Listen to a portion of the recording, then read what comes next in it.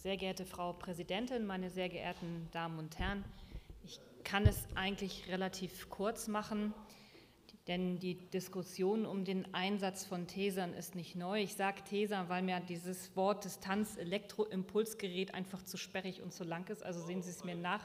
Ja, genau. Ich möchte es ja auch kurz halten, habe ich ja gesagt.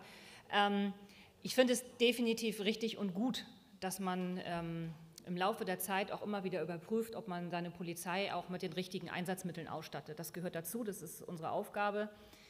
Ähm, ist also keine Frage, sonst würden wir heute nämlich immer noch mit der Gummiwurst und der Knebelkette rumlaufen. Ähm, bei den Tesern ist es allerdings so, ähm, dass mir das noch nicht so richtig ausgewogen genug ist. Äh, wir wissen zum Beispiel auf jeden Fall, dass es ein Mittel ist, das man ähm, auf Distanz gut anwenden kann, wenn es zum Beispiel um Geisellagen geht oder auch um Suizidversuche. Da kann ich das gut, an, äh, gut anwenden. Das ist keine dynamische Bewegung.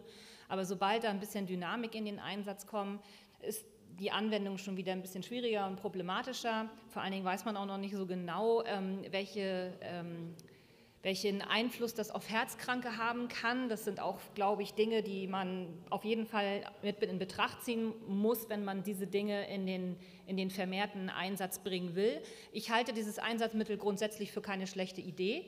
Aber der Innenminister hat aufgezeigt, ähm, dass auch er sich da noch auf Studien berufen will, die noch nicht fertig sind und er schon seit Jahren dran ist. Die Spezialeinheiten haben dieses Gerät schon und selbstverständlich müssen wir dann, das ist natürlich noch eine Frage, die sich eigentlich gar nicht stellt, auch dann über die Ausbildung sprechen.